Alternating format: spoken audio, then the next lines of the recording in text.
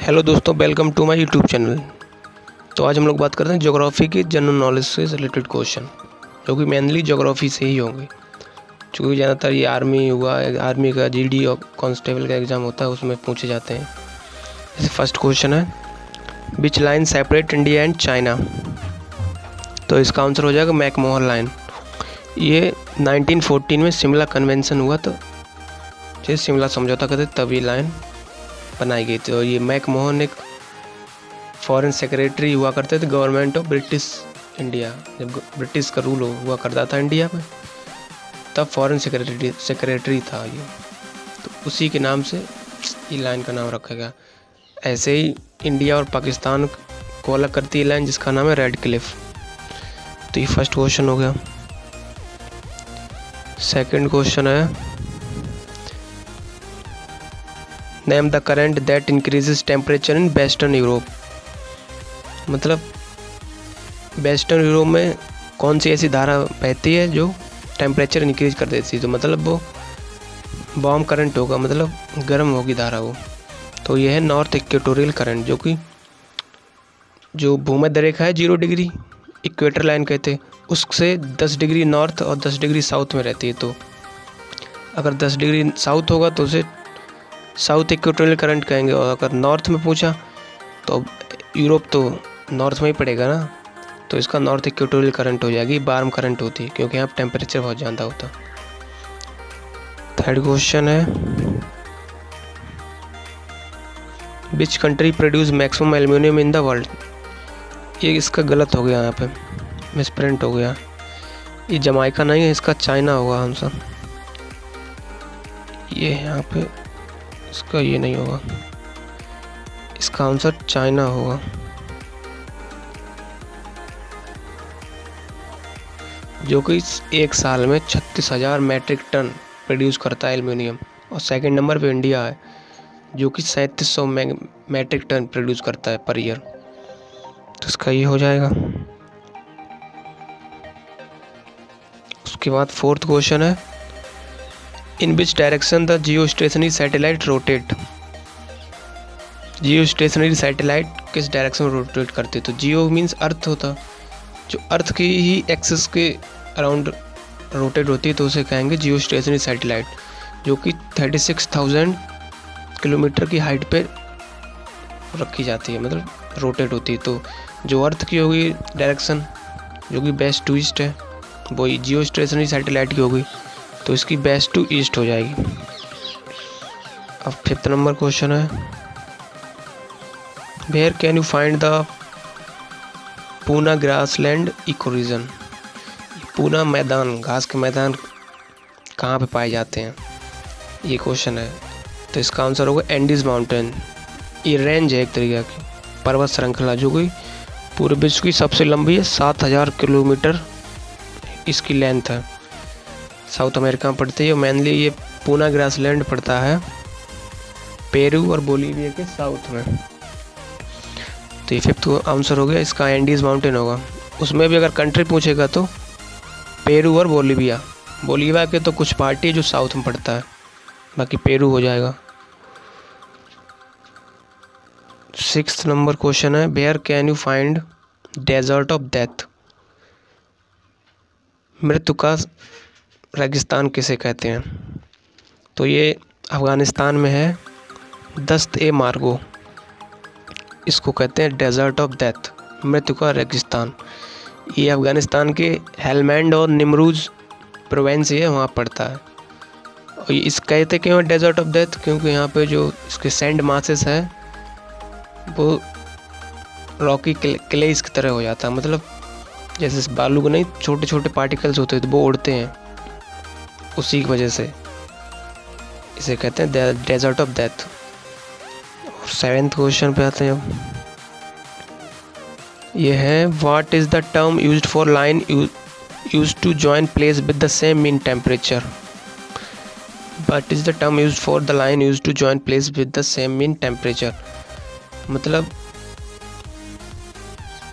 क्या term use करेंगे जहाँ पे दो स्थान पे एक ही टेम्परेचर की प्लेस हो तो उसे आइसोथर्म कहते हैं। ये हो गया सेवेंथ दो दो एरिया को जोड़ेगा, दो प्लेस ले लो कोई। उसको टेम्परेचर एक मीन टेम्परेचर रियल टाइम पे सेम होगा तो उसे आइसोथर्म कहेंगे। एर्थ नंबर का है। वाट टाइप ऑफ़ डेजर्ट और गोभी डेजर्ट एंड आटाकामा डेजर्ट ये मरुस्थल है। इसको गोभी डेजर्ट और आटा आटाकामा डेजर्ट होता तो ये रेन शेडो डेजर्ट हो जाएगा। रैन शेडो मतलब होता जैसे कोई इसके बीच में पर्वत हो गया। तो जिस तरफ़ हवा चलेगी उसे बिंडवर्ड साइड कहते उसके अपोजिट दूसरी तरफ़ लेवर्ड साइड होगी। तो वहाँ पे रेन सोडो क्योंकि वहाँ पर हवा चलेगी नहीं, क्योंकि वो उसके अपोजिट में पड़ जाएगा। तो उसे रैन सोडो कहेंगे। गोभी डेजर्ट और आटा आटाकामा गोभी पता होगा आपको, मंगोलिया में है डेजर्ट आटाकामा चिली में है। ये वर्ल्ड का सबसे ड्राइएस्ट डेजर्ट है। सबसे सूखा डेजर्ट इसको कहते हैं। नाइन्थ नंबर क्वेश्चन है which region can be called the belt of doldrum doldrum कौन सी बेल्ट को कहते हैं? तो ये इक्वटल रीजन को ही कहते हैं डोल्ड्रम क्योंकि यहाँ पे लो एटमॉस्फेरिक प्रेशर होता है और हाई टेम्परेचर होगा। हाई अगर टेम्परेचर होगा तो हाई ह्यूमिडिटी होगी। और हाई टेम्परेचर क्यों होगा? क्योंकि यहाँ पर सन डायरेक्टली पड़ता है यहाँ पर इतने region ten degree north to ten degree south equator ये रीजन कहते हैं तो इसीलिए यहाँ पे इसको डोल्ड्रम कहते हैं। अब टेंथ नंबर है what is the study of landform called जो हम लोग जैसे माउंटेन हिल्स इन सब की स्टडी क्या कहते हैं? इसको जियोमॉर्फोलॉजी कहते हैं। इसकी एरिया मतलब किस प्रकार का ये माउंटेन है? जैसे ब्लॉक माउंटेन होता, ऐसे कहेंगे इसको तो इसका जियोमॉर्फोलॉजी होगा। एलेवेंथ नंबर है what type of rock is granite granite जो पत्थर होता है वो कौन से चट्टान से निकलता है? तो इसका आंसर होगा इंट्रूसिव इग्नियस रॉक इसका तो ये हो जाएगा। ट्वेल्थ नंबर है। On which date of the year is sun closest to earth sun के पृथ्वी किस डेट को पड़ती है? कौन से दिन? तो ये चार जनवरी होता है अप्रॉक्स दो या चार के बीच में रहता है। क्योंकि पिछली बार ये दो दो हज़ार इक्कीस में ही ये दो जनवरी को पड़ा था। और इसको कहते हैं, इस प्रोसेस को पेरीहिलियन जब सन अर्थ के पास होता है, और ये पास कितना होगा? थ्री पॉइंट वन मिलियन मतलब इकतीस लाख किलोमीटर पास होता है। और इसी का उल्टा होता है जिसको एपीलियन कहते हैं, जो कि फोर्थ जुलाई को सन और सबसे दूर होंगे। वो चार जुलाई को पड़ता है। अब एलेवेंथ नंबर क्वेश्चन क्या है? ब्रैन कैसल तो ये ट्रांस, ट्रांसिल्वेनिया, रोमानिया में है ये। किला है ये वहाँ का। हो गया ये वाला। अब और इसका ये रोमानिया में पड़ता है और ये उसका है बर्ड हेरिटेज साइट है।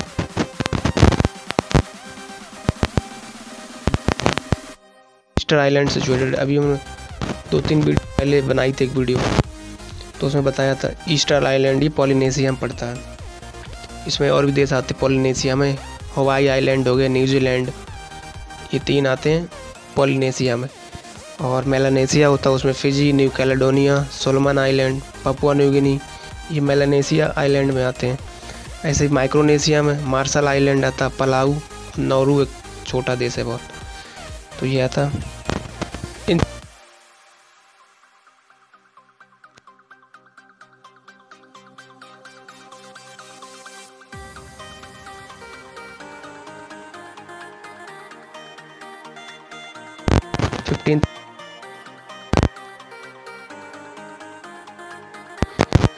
ये इस्तानबुल, टर्की में, और ये भी 2020 में न्यूज़ में मिला। क्योंकि यहाँ का जो पोप था, उसने इसको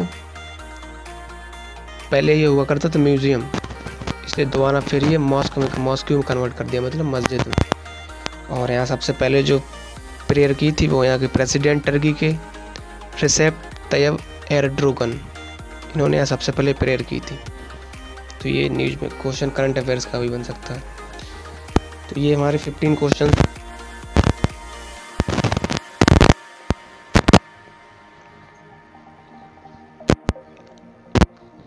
बाकी हम लोग नेक्स्ट वीडियो में देखेंगे।